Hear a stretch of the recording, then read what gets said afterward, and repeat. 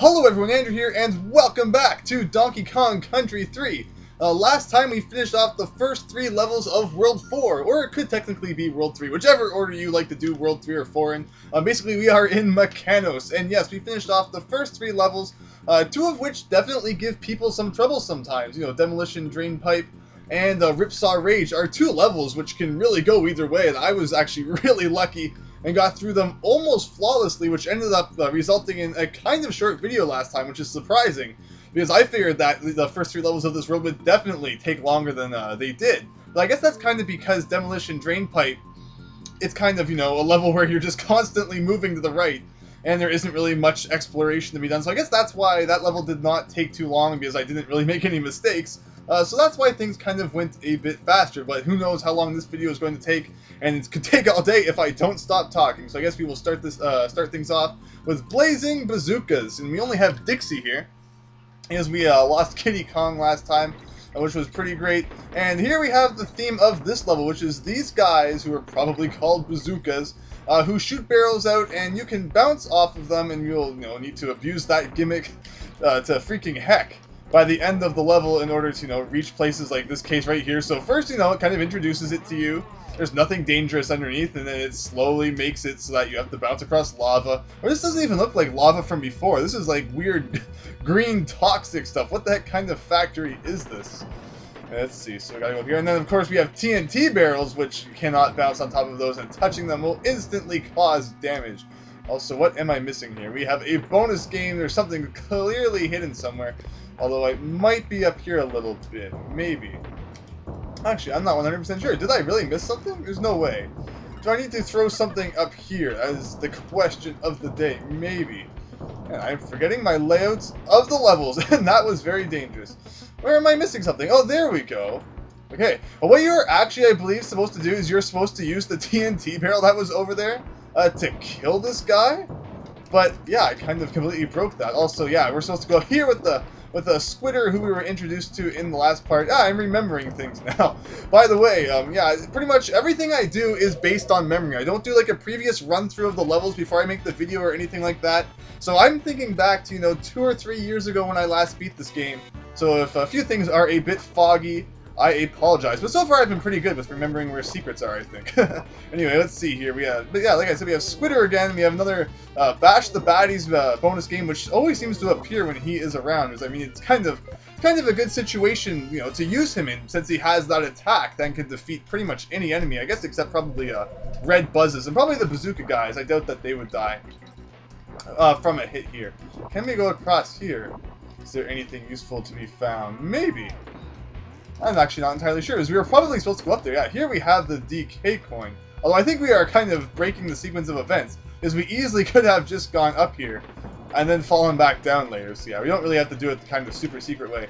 Uh, what you need to do here is you need to go to the left, and I believe there should be a switch, like this thing right here. This is the switch barrel, and when you touch it, it will change the type of barrel that uh, the bazooka guy shoots. And now you can obviously put two and two together and realize that the steel barrel will completely destroy that guy. So that is the solution to that very complicated puzzle. You don't want to hug the wall too much there, because you will get stuck and lose all momentum. Now, which way do we want to go? We have a checkpoint this way. Over here, we have something going on. I'm not entirely sure what. But let's see. We have TNT barrels coming at us. What do I even want to do here? Do we have a bonus game around? No, so is that is this the right way or the wrong way? I'm kind of confused. I was also afraid that that blind jump was going to result in death. Hmm, where on earth do I want to go? So if I go left here, okay, so maybe I would want to do that. Alright, so if you do not have Squitter, yeah, obviously you're going to need to change the barrel type, uh, because you would not be able to completely cheat your way across this gap. So that solves the mystery of what the heck is to the left. I hate split paths. they make everything so difficult. I like hidden secrets, but I hate split paths, because you always get that feeling that you're missing something. But you know, I like it when there's just secrets where you kind of have to verge off and it's obvious that it's a secret, but not when you're not really sure if it's a secret or not. I don't know. I have no idea what I'm even talking about.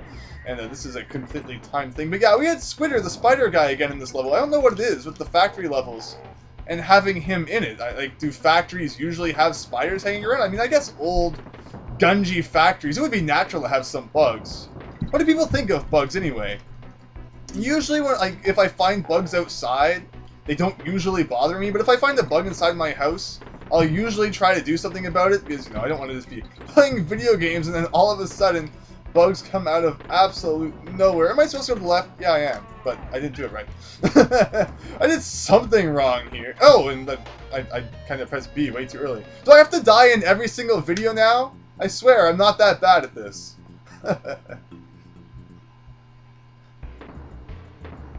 oh, so even when you come out of the checkpoint, that's an interesting note that I kind of completely forgot about.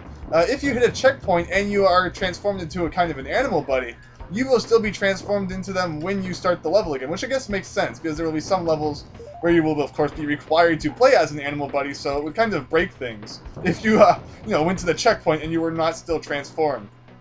Anyway, let's quickly get back to where we were. I was trying to get to that bonus game there, and I'm kind of, you know, thinking about how exactly that works, because the way that the guy is shooting the barrels, I think that it's probably pretty easy to just fly across with Dixie, but I was being stupid.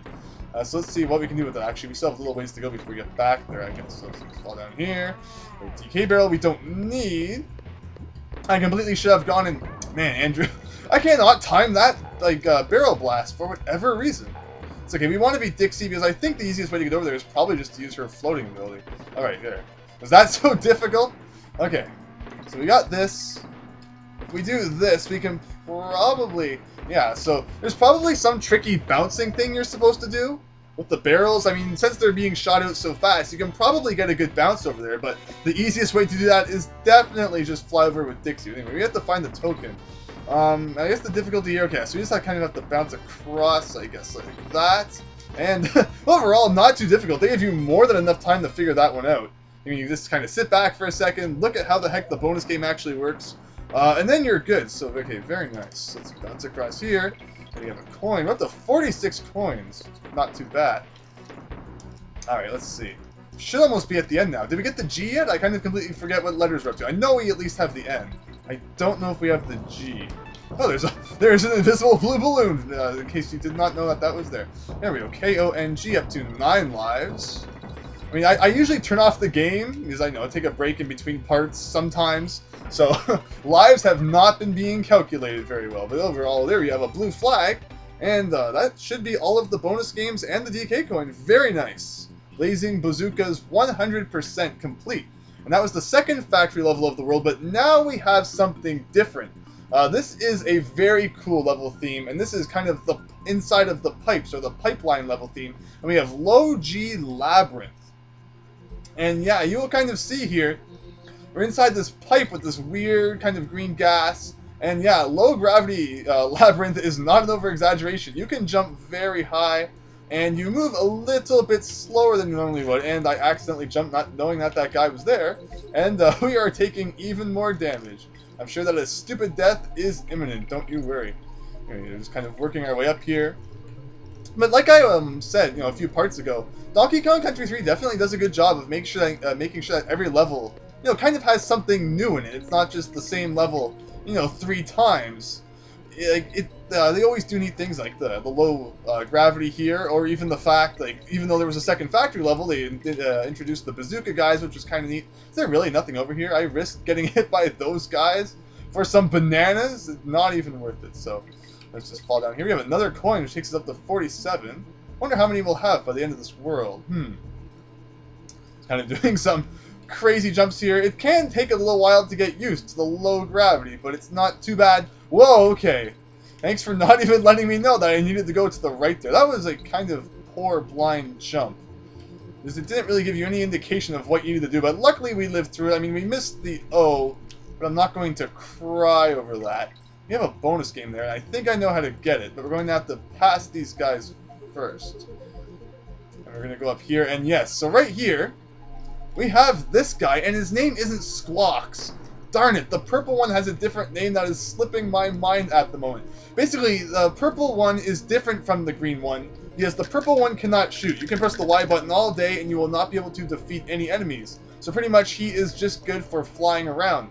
Uh, he does have another trait that Squawks does not have, though, in that the purple one can pick up barrels off of the ground and use them to defeat enemies. And uh, he will play a big part in that sense. But darn it, what is his name? it's it, it's kind of like a bootleg version of Squawks, but I can't remember exactly what it is. But anyway, we have to collect 80 stars.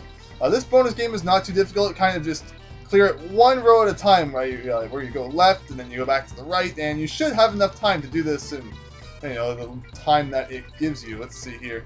I hope I don't have to go back to the right. I probably do, don't I?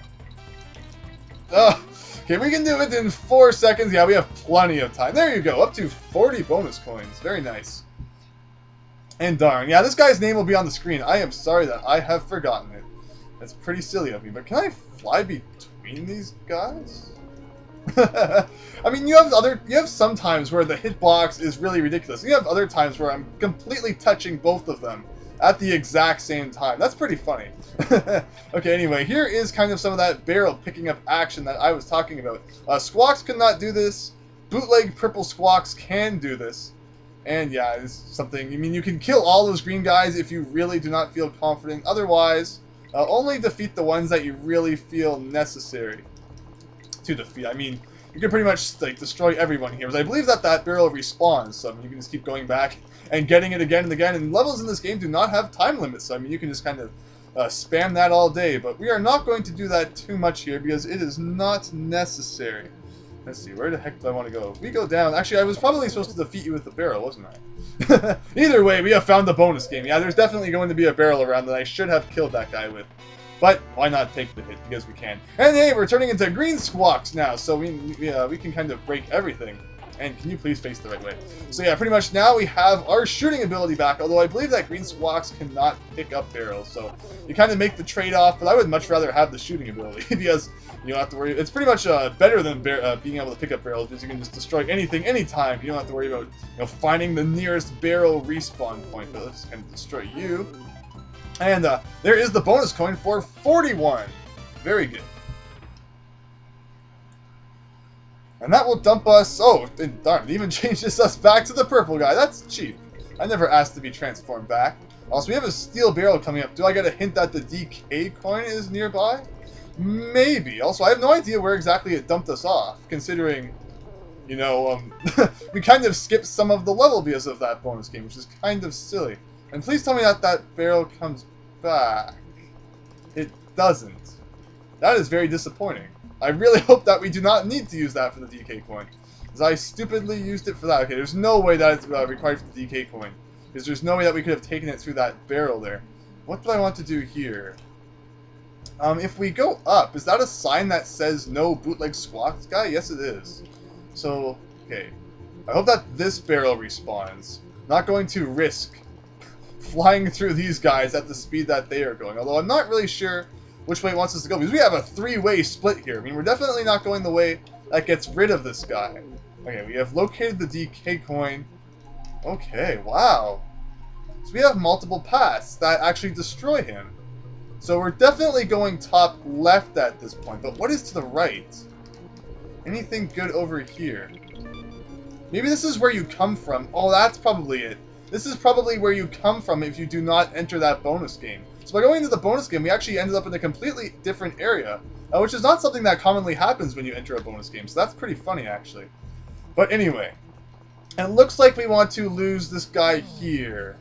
Okay, there's even a respawning barrel up there in case we mess up really bad, but let's just see this. Do not mess this up. Very nice. 20 DK coins. Um, but yeah, let's see. If I go up here, yeah, so we could have uh, easily just taken this back down, I suppose. This one probably uh, respawns too. Yeah, it does. So if I go to the left here, what do we find? I think that the end is to the right. Yeah, throwing barrels is very difficult in low gravity, I have to say.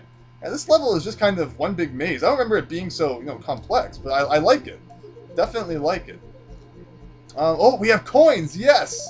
Very nice. We are over 50 coins, and uh, everyone who has been watching since part 1 should know what that means, but yeah, we will worry about that later. That's very cool. I actually completely forgot that that secret existed. Three coins and an invincibility barrel, and we're not even at the end yet. Oh, we missed the O, and everyone I'm sure remembers exactly where that happened. Anyway, wow, we have a few more jumps here. This level just goes on. Not that I'm complaining, I like difficulty and uh, long levels, but this is this is not what I was expecting from this level. I kind of completely forgot that it was that uh, long and complex. But there you go, a blue flag after all of that. which I believe is 4 out of 5 blue flags, meaning that the flag on the overworld will be blue, which is very nice. And there you go, with all 5 levels of World 4 down, we have the boss, which is KAOS Karnage. So let's do this. And unlike other bosses, we actually have a bit of a cutscene here.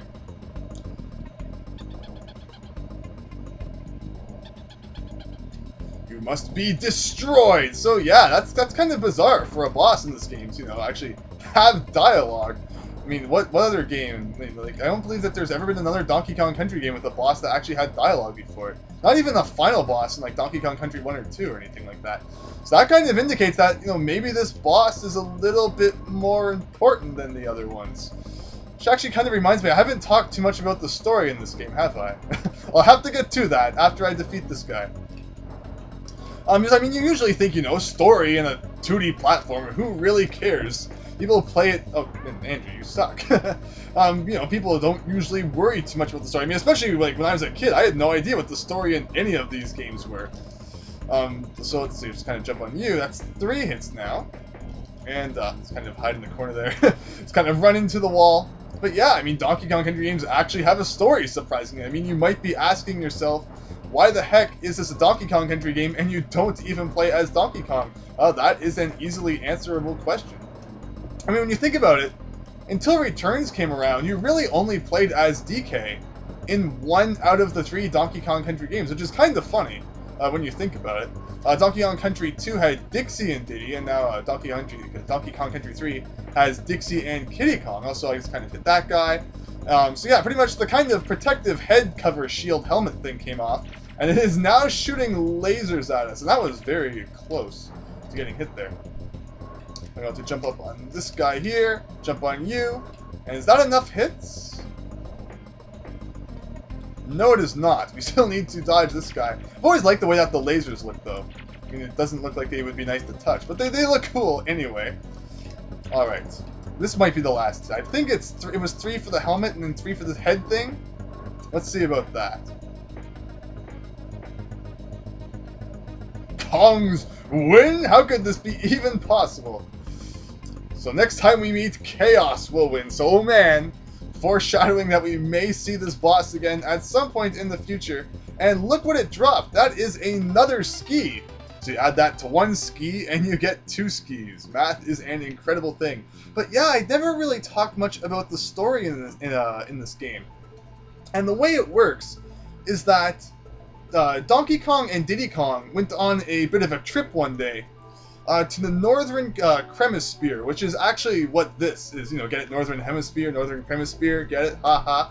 um, so they went on a trip to this place here, and after a few days, they didn't return. So Dixie's like, oh man, I am worried about them. Uh, so then that's pretty much where the game starts off. She comes here, um, then you meet Kiddy, and then you go searching for them, and yeah, we haven't exactly seen any sign of them yet. So maybe she was right in being suspicious that something went wrong, but we will have to worry about that in the future, I suppose, because we are about halfway through the game.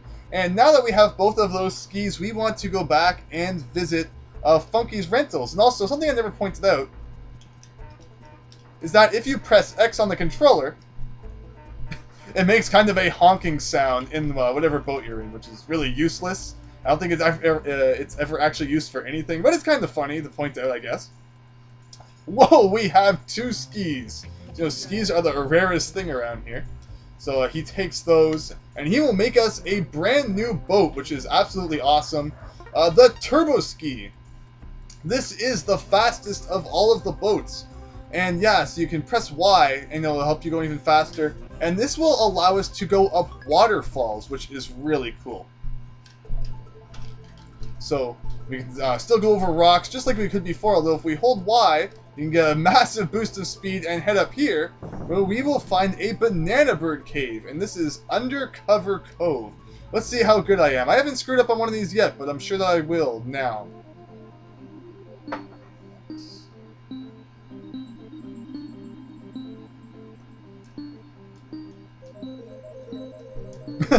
Still flawless at that, although I'm definitely anticipating a screw-up in the near future, but very nice. I think that takes us up to seven banana birds. Uh, we did not get a banana bird in the last world because uh, we are not uh, we are actually unable to at this point. But we will worry about that in the future. And I actually almost completely forgot that now that we have over 50 coins, we can go back to Bazaar's general store, which we have not seen since part two, and purchase the elusive mirror, which I always used to call a magnifying glass as a kid by accident. Because it does kind of look like one on the shelter, even though it actually says, um, you know, mirror right there. So let's buy that, and that will take us down to a single silver coin. Although that is actually the most expensive item um, that you need to buy with silver coins in the game. Um, so it, it's pretty much, it, it's good that we got it out of the way now for buying it. Are there secret caves? I have not seen. Um, quite a lot actually, but if you want me to tell you, it'll cost 13 coins. So I guess that they'll tell me um, about the where, maybe where the Banana Bird caves are located. I actually don't remember what happens when you buy this kind of piece of text. But we don't have 13 coins anyway, so it's not like we can really do anything there. Uh, but yeah, that is how that works. We might as well save. Why not? We're here at Wrinkly's Save Cave anyway. And blah. sorry Dixie, I've just had new teeth fitted. That's pretty great. And we can look at our up-to-date stats after an hour and 43 minutes, exactly halfway through the game, technically. I mean, in the title of every video it says 103%, so it's not really a, a spoiler that we're going to be going over exactly 100, but we're pretty much halfway.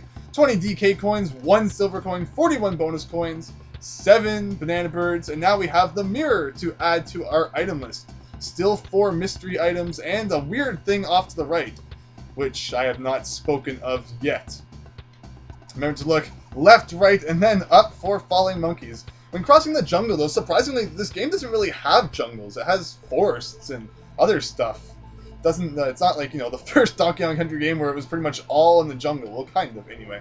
But yes, now that we have the super fast boat, we can go up these waterfalls right here, and that takes us up to the next section of the overworld, and to World 5, which is K3. And I think that wins the award for shortest name for a world ever. Maybe. Is there any other game that has ever had a world that only had two letters in its name? I'm sure that there's not a world that only had one. Well, I mean, I guess unless you called it World 1. Then wouldn't it technically be six characters long? Or seven if you include the space. I don't know. Before I get too far into this, I think that we should end this off. So, uh, hope that you enjoyed seeing the end of World 4, or 3, or whatever. I'm not even going to even get into that again. And, uh, yeah, hope you enjoyed, and I hope to see you next time for the start of World 5. yes, for no discrepancy regarding what world number it is. It's finally nice to have that freedom. So, hope that you enjoyed that, and hope to see you next time for more. So, thank you, and see you later.